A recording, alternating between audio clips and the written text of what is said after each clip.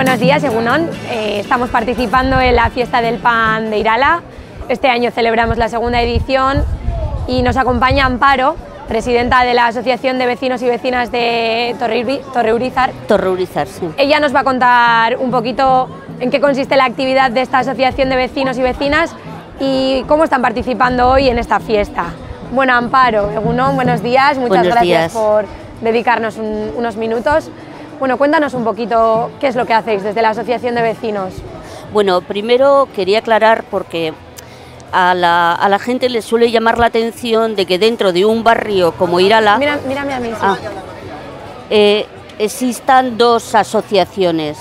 Entonces, bueno, eso es debido a que Torreurizar es un barrio muy concreto que lo hizo viviendas municipales, es un barrio muy cerrado, entonces los problemas que teníamos eh, como inquilinos, que éramos todos de viviendas municipales, eran muy diferentes al resto del barrio de Irala.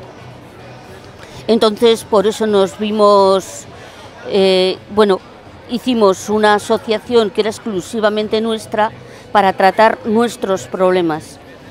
Y bueno, eh, nosotros a nivel de asociación de lo que nos preocupamos es de que el barrio de Torreurizar esté en buenas condiciones, no solamente físicas, sino sociales. Es decir, nos preocupamos de la convivencia entre vecinos, nos preocupamos de, del alumbrado, de la, de la, del asfalto, bueno, de las averías, de, de, todo lo que pueda ocurrir, pero no solamente a nivel, a nivel físico, sino también a nivel social.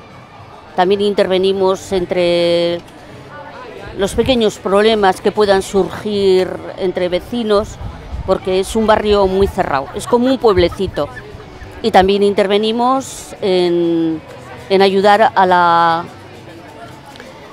a la residencia que han puesto de esclerosis múltiple y por supuesto a nuestra escuela.